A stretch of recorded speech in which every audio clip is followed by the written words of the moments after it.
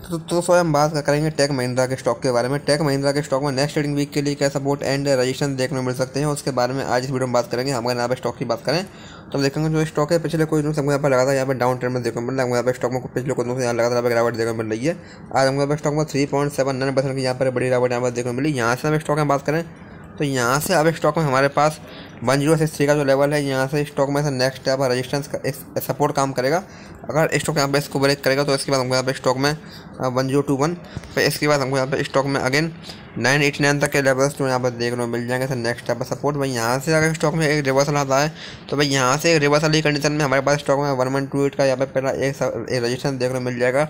अगर स्टॉक यहाँ पर इसको ब्रेक करेगा तो भाई हमको स्टॉक में वन वन सेवन फाइव फिर इसके बाद हमको यहाँ पे स्टॉक में again one two five seven तक के लेवल्स तो यहाँ पर देखने को मिल जाएँगे। तो नेक्स्ट पर रजिस्टेंस तो इस स्टॉक में कुछ important support and resistance level हैं। आप इन पर ध्यान दे सकते हैं। बाकी वीडियो में कोई बाइसल होल्डिंग्स वाला नहीं है। वीडियो केवल एजुकेशन पर्पज़ के लिए धन्यवाद।